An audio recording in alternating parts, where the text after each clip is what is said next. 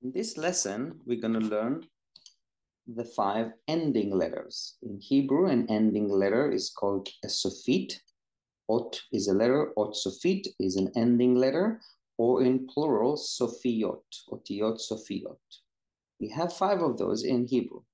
Chaf sofit, mem sofit, nun sofit, fei sofit, and tzadik sofit. Let's begin with chaf sofit. The word is melech. Melech. Melech is a king. The next one is memsofit. The word is mayim. Mayim. Mayim is water. Next is nunsofit.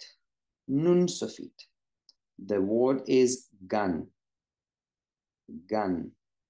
Gan is a garden. Next is fei sofit. Face of it.